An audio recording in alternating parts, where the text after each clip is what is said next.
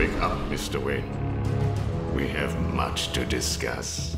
I want you to know the fear that is coming. This is the beginning of the end for you, Dark Knight. You're all going down.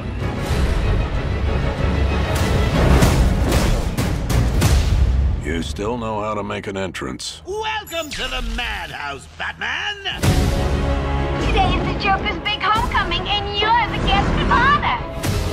Soon I will command forces beyond your comprehension. I've waited long enough. Batman dies tonight. This place is dangerous. I like it. Gotham would be ours. Over my dead body. I believe that was the idea.